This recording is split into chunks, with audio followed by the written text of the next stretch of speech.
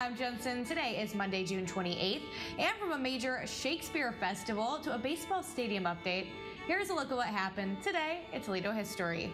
On June 28, 1885, a violent riot by parishioners broke out at St. Hedwig's Catholic Church on LaGrange Street over the suspension of a priest.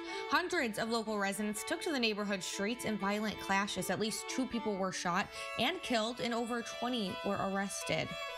And on June 28, 1956, an 11 day Shakespeare Festival opened up at the Toledo Zoo Amphitheater, drawing 2,000 audience members for its debut performance of Much Ado About Nothing. And on June 28, 1983, Point Place residents experienced flooding as northeast winds pushed water onto land from the lake.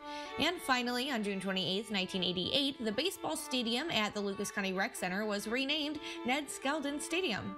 And all of this information today was provided by the Toledo History Museum. You can find them at 425 North St. Clair Street, right in downtown. But for now, reporting in Toledo, I'm Jensen Strock.